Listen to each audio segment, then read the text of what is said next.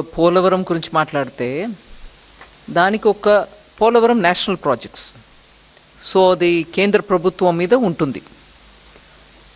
Most national projects national project అని చె- చెప్పినప్పటికీ అది సెంట్రల్ గవర్నమెంట్ ఇంప్లిమెంట్ చేస్తుంది. కానీ ఇక్కడ ఆంధ్రప్రదేశ్ గవర్నమెంట్ ఇంప్లిమెంట్ చేస్తుంది నేషనల్ ప్రాజెక్ట్ని.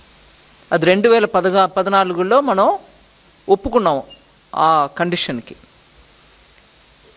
దాని ప్రకారం రీహాబిలిటేషన్ ఎంత ఎంతవరకు కట్టుబాటు ఉంటుంది ఎంతవరకు గ్రామంలో ఉన్న వాళ్ళని అక్కడి నుంచి తరలించినప్పటికీ వాళ్ళకి ఇవ్వాల్సిన అమౌంట్ ఎంత ఉంటుంది? Relief rehabilitation two thousand thirteen act కింద. ఇవన్నీ డీటెయిల్స్ అప్పటికే ఒక లెవెల్కి ఒప్పుకున్నాక క్యాబినెట్ నుంచి అప్రూవల్ తీసుకున్నారు. అప్రూవల్ ఒక ఎత్తు వరకు పోలవరం డ్యామ్ బిల్డ్ చేయడానికి. దాని తర్వాత కన్స్ట్రక్షన్స్ మొదలు పెట్టినప్పటికీ మెల్లమెల్లగా ఒక హైట్ వరకు వచ్చి దాని తర్వాత కింద ఉన్నటువంటి గ్రామాలకి ఇచ్చాం కానీ పైన ఉన్నటువంటి గ్రామానికి ఇవ్వలేదు. ఇట్లాగా కొత్త కొత్త ఇష్యూస్ రావడం మొదలైంది.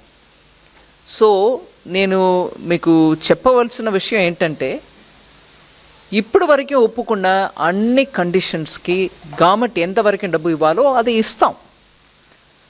ఇప్పటికీ ఇంకా కొత్త ప్రాబ్లమ్స్ కూడా కొంచెం వచ్చి ఉన్నాయి నేను ఆ వివరంలో వెళ్ళలే. కానీ అది ఒక నేషనల్ ప్రాజెక్ట్ మేము ఒప్పుకున్నాం. సెంట్రల్ గవర్నమెంట్ అది తన్ని తనకంటూ ఉన్నటువంటి ఒక ప్రాజెక్ట్ అని ఒప్పుకుంది. సో అది కంప్లీట్ చేయడానికి ఎంత అవుతుందో అంత మేము చేయాల్సిందే. తర్వాత అది గ్రాంటా లేదు central government multinational national bank నుంచి తీసుకొస్తున్నారు ఏంటి అని అంటే నేషనల్ ప్రాజెక్ట్ అన్నప్పటికీ ఖర్చు మాది కదా. సో గ్రాంటా అని అడగడానికి అక్కడ ఆస్కారం లేదు.